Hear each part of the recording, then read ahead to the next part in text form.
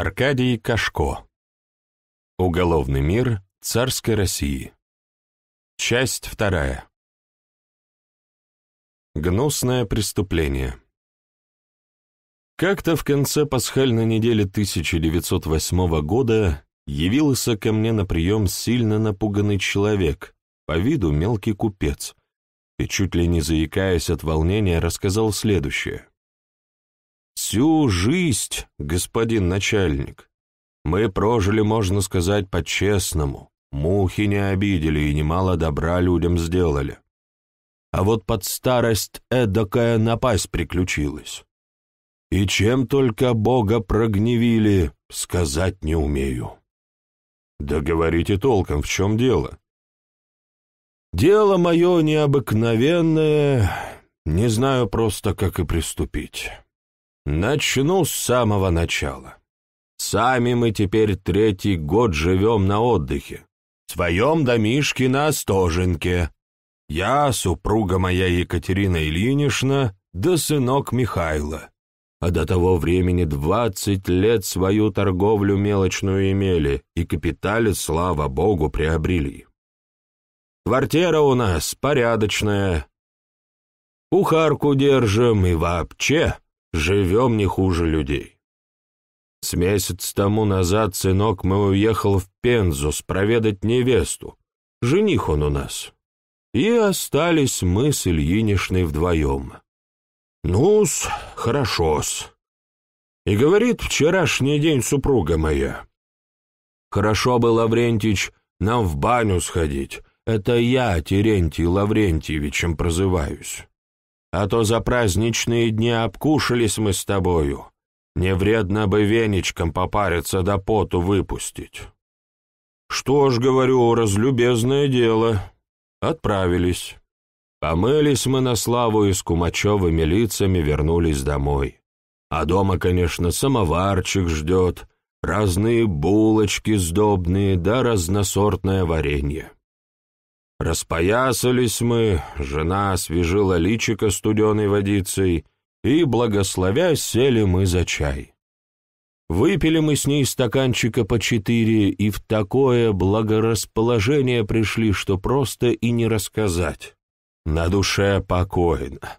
Телеса приятно разогреты, в утробе одно удовольствие, а в комнате так светло и уютно, в уголке лампада перед иконой горит. Сидим, молчим и молча радуемся. Вошла в комнатку кухарка и, обращаясь ко мне, говорит, «Вот, давеча, пока вы были в бане, пришло вам письмецо». И протягивает мне его. Я поглядел на конверт, письмо иногороднее. Уж не от сына ли, подумали мы. «А вы разве почерка сына не узнали?» Да где его там разобрать? Сами мы не больно грамотны, да и сын не гораздо хорошо пишет. Ну, однако, распечатали. Оказалось от сына. Вот оно, я захватил с собой. Я пробежал письмо глазами. В нем довольно корявым почерком было написано «Дорогой наш родитель Терентий Лаврентьевич и дорогая мамаша Катерина Ильинична, Шлю вам с любовью низкий сыновий поклон и прошу вашего благословения навеки нерушимого. Четвертую неделю пребываю в Пензе, и невестой моей и ейными родителями премного доволен. С ними встретил светлые праздники и взгрустнул, между прочим, что вас со мной не было. Хоть Пасху провожу и без вас, однако вас не забыл и посылаю вам посылку на три пуда весом. А что в ней находится, не сообщаю. Это вам сюрприз будет. А только Пенза славится платками, перчатками и разными фруктами. Но это я говорю только так, для обману. В посылке совсем другой товар находится. Затем пожелаю я вам всего хорошего, ждите меня домой недельки через две-три. Остаюсь вашим любящим и покорным сыном Михаилом Терентьевичем Шишкиным. Мой посетитель продолжал. К этому письмецу была приложена и багажная квитанция на посылку. Время было позднее, и с получкой пришлось обождать до сегодняшнего дня. Как прочитали мы это Мишенькино письмо, нас аж слеза прошибла. Ильинишна мне говорит, вот, отец, какого сына мы с тобой вырастили. Где бы парню с невестой все на свете забыть? А он, глядь, своих стариков вспомнил, да еще как вспомнил, трехпудовой посылкой. А только очень мне любопытно знать, что в этом сюрпризе находится. Я так думаю, хоть он нас избивает с толку, а должно быть все платки пуховые. Знает, мать тепло любит. Эвана, говорю, куда махнула? На три пуда пуховых платков. Эдакую уйму и вагон, пожалуй, не уложишь. «Ну, значит, яблоки», — говорит супруга. «И опять зря говоришь», — отвечаю. «Подумаешь, яблоки, невидаль какая. Нашел, чем родителей порадовать». Всю ночь мы плохо спали с женой. То толкнет она меня в бок и полусонного огорошит вопросом, а может быть, Лавренчич, пуховые перчатки? Отстань, говорю! А у самого в голове разные фантазии. Может быть, пряники медовые, а может быть, и стерляди сурские. Страсть люблю стерляжью уху. Меня аж в тревогу бросало. Не дойти рыбине такую даль, как пить дать протухнет. Под утро я разбудил даже супругу и спрашиваю, ежели, к примеру, сказать «стерлядь залежалая», то по глазам ейным можно это распознать? «Какая стерлядь?» — говорит супруга. «А, ну тебя к лешему, дрыхни!» Отвечаю сердито. Так мы и промаялись всю ночь. Утром наскоро напились чаю и в местях на извозчике помчались на Рязанский вокзал. Предъявляю квитанцию, мне носильщик выволакивает тяжелый ящик, обшитый рогожей, натуго перевязанный веревками. Сволокли мы его на извозчика, да я и да домой. Едем, а любопытство так и разбирает. А как повеет ветерочком, так от ящика легкий странный дух идет. Ой, говорю, выходит, по-моему, не иначе, как стерлядь. Принюхайся, как рыбиная отдает. Приехали домой, внесли ящик в столовую, разъяли веревки, взял я топор, да и начал отковыривать крышку. Сверху соломой заложено, а супруга моя так и ягозит, так и ягозит. Прощупали сверху, что-то твердое. «Скорей!» — говорит Лаврентий, «чего копаешься?» Запустил я сбоку руку вглубь, Нащупал какой-то предмет и вытаскиваю. Мать честная, святые угодники! Я даже икнул, а супруга грохнулась на пол. Я держал за пятку кусок человеческой ноги, обрубленный по колено. Сердце колотится, а я, как дурак, застыл с протянутой рукой. Прошло немало времени. Наконец слышу, Ильинишна кричит, «Чего стоишь истуканом? Брось эту погонь!» Ну, действительно, отшвырнул я ногу. Что ж это такое, говорю, творится? Разуважил, можно сказать, сынок, поздравил с праздничком. Полно тебе брехать, в своем ли ты уме? Разве Мишенька позволит себе такие шутки? Осмотрим скорее весь ящик, да и в полицию. Осмотрели мы, господин начальник, посылочку вдоль и поперек. Ничего, можно сказать, сюрприз. Человечье тело, разрубленное на четыре части, и промеж ног голова всунута. По всем видимостям, труп молодой девицы, можно сказать, девочки. Заметно это по телосложению трупа. Опять же, на голове длинная коса, а в ней вплетена лента. Вот, «Извольте получить». И он положил мне на стол длинную шелковую пеструю ленточку. Помолчав, я спросил, «Что же вы обо всем этом думаете?» «Да что тут думать? Ничего не думаю. Однако, конечно, что мой сын ни при чем. А другой посылки от сына вы не получали?» «Нет, не получали». Я кратко записал сообщенные мне данные и отпустил купца, взяв его адрес. Конечно, убийство, видимо, было произведено далеко за пределами Москвы и вряд ли подлежало моему ведению. Но дерзость и цинизм преступления возмутили и заинтересовали меня. К тому же имелось еще одно превходящее обстоятельство, побудившее меня лично взяться за это дело. Я только что получил от брата из Пензы, где он в это время был губернатором, письмо с приглашением приехать погостить, а так как, судя по багажной квитанции, следы вышеназванного злодеяния надлежало отыскивать именно в Пензе, то я и решил соединить приятное с полезным и тотчас же принялся за работу. Взяв с собой полицейского врача и двух понятых, я поехал на Остоженьку к Плошкину. Экспертиза врача установила после исследования разрубленного трупа в ближайшем медицинском пункте, что он принадлежит девочке 14 примерно лет, убитой ударом колющего оружия в сердце, приблизительно двое суток тому назад. Допросив еще раз Плошкина, я ничего нового от него не узнал. На мой вопрос, не было ли у него каких-либо врагов, сводящих с ним счеты, он ответил, «Нет, всю жизнь я прожил в миру и ладу со всеми, и мстить, кажись, некому». Но, подумав, добавил, «Разве что один человек мог остаться мной недовольным. Это мой бывший старший приказчик Сивухин». Уж больно он воровать стал. А года за два до закрытия моей торговли я выгнал его от себя вон и, помню, обозвал даже вором. А он, уходя, пригрозил мне, погоди, старый черт, отольются тебе мои слезы.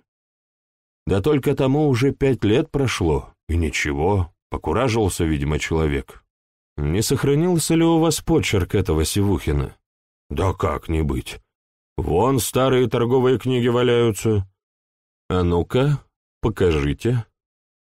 Ложкин отобрал одну из книг, перелистал несколько страниц и раскрытую поднес мне. Вот егоная рука. Я поглядел. Довольно неровным почерком было написано наименование и цена нескольких товаров. Сравнив эти записи с почерком письма, полученным Плошкиным, я убедился, что почерки разные. На следующий день, собрав подробные справки о сыне Плошкина, оказавшиеся для него вполне благоприятными, и снабженный фотографиями с обезображенного трупа, я выехал в Пензу с экспрессом.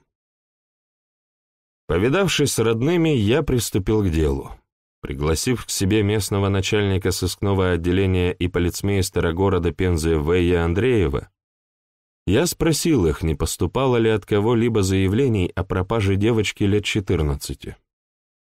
И тот и другой заявили, что три дня тому назад некая Ефимова, продавщица в казенной винной лавке, обратилась за помощью в полицию, прося разыскать исчезнувшую дочь, девочку 14 лет, Марию, причем подозрений решительно ни на кого не имела. Местная полиция уже производила розыск, но пока результатов благоприятных не получено. Я пожелал лично допросить как Ефимову, так и молодого Плошкина и приказал вызвать их обоих. Крайне тяжелое воспоминание осталось у меня от встречи с Ефимовой. Подавленная горем, в слезах, явилась она и рассказала, как было дело. Ее дочь с год как служит в качестве ученицы у портнихи, некой Знаменской, проживающей в конце пешей улицы. Сначала Маше жилось у хозяйки нелегко, но последние два месяца Знаменская резко изменила свое отношение к ней. Стала ласково, добра и снисходительна. В день исчезновения Маши было светлое воскресенье, и девочка была у матери. В два часа дня отпросилась погулять в Лермонтовский сквер на часочек, но не вернулась ни через час, ни через три, ни к вечеру. Встревоженная мать кинулась на поиски, побывала у портнихи, но Маша как в воду канула. Поволновавшись всю ночь, она наутро сделала заявление полиции о пропаже дочери. В большом волнении протянул я ей шелковую, пеструю ленточку и спросил, знакома ли она ей. Мать судорожно схватила ее и с надеждой во взоре радостно проговорила «Она, она самая! Это любимая ленточка моей Машеньки!» Щадя нервы моих слушателей, Я не буду описывать той тягостной сцены, что последовало вслед за раскрытием страшной правды. Как ни был я осторожен, но печальный факт оставался фактом, и горе несчастной матери было безбрежно. Это тягостное впечатление несколько рассеял Михаил Плошкин. Завитой барашком, с галстуком одного цвета со щеками, в крахмальной манишке и с огромным аметистом на указательном пальце предстал передо мной счастливый жених. Держал и вел себя по собственному выражению высококультурно. «Намеревались ли вы послать вашим родителям посылку в Москву?» — спросил я его. «Конечно, оно следовало бы, как вы сами понимаете, родители, ничто другое, но любовный дым, в коем я пребываю, помешал мне в исполнении этой заветной мечты -с. Так что и письма вы никакого им на Пасху не посылали?» «Нет, не удосужился поздравить с высокоторжественным праздником. А между тем они посылочку от вас получили. И на три пуда. Шутить изволите. А вот, прочтите. И я протянул ему письмо. Он внимательно прочел его, раскрыл рот от удивления и уставился на меня. Так как я еще в Москве сверил его почерк с почерком письма и убедился в их различии, то я не нашел нужным его дольше задерживать и отпустил его, не разъяснив ему странной загадки. По его словам, кроме невесты и ее стариков-родителей, никто не знал московского адреса Плошкиных. До поры до времени я решил оставить в покое этих людей и пожелал инкогнито навестить портниху Знаменскую. Мне хотелось лично вынести о ней впечатление, не только как о лице, игравшем значительную роль в жизни погибшей девочки, но также и потому, что сведения, собранные о ней местной полицией, были неблагоприятны. Темное прошлое, обширные знакомства с людьми, ничего общего не имеющих с ее ремеслом и средой и так далее.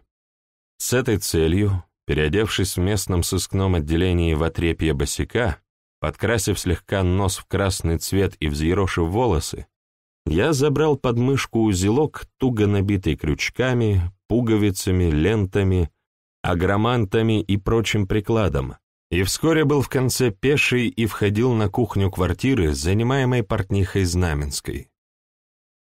Я довольно нерешительно открыл дверь. В кухне за большим столом сидели две девочки лет по четырнадцать и девушка постарше, лет семнадцати. Они с аппетитом уплетали кашу, черпая ее деревянными ложками из общей кастрюли. Все три обернулись, но, увидя мое рубище, ничего не ответили и продолжали есть. Наконец старшая спросила, «Что тебе нужно?» «Мне бы хозяюшку вашу повидать». «Она что?» — удивилась она. «Да тут кое-какое дельце к ней будет. Ладно, обожди, уже позову». Я прислонился к косяку двери и стал наблюдать.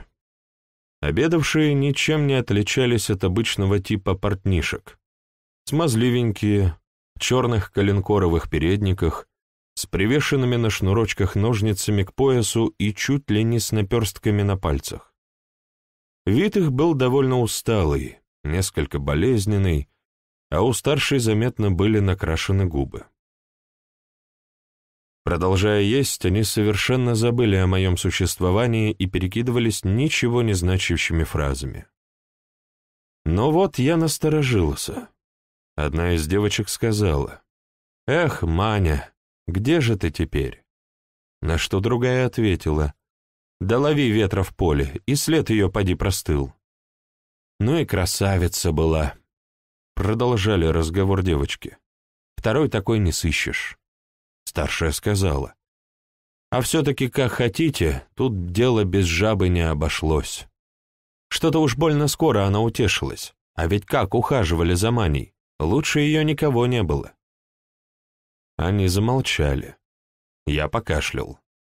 Старшая, встрепенувшись, сказала, «Ну-ка, Настя, сходи за жабой, скажи, что тут человек дожидается». Одна из девочек отправилась в комнату и вскоре вернулась с лукавой улыбкой и, подмигнув подругам, заявила. «Я жабе сказала, что какой-то господин ее дожидается, и она принялась пудриться, румяниться и душиться». Девочки звонко расхохотались.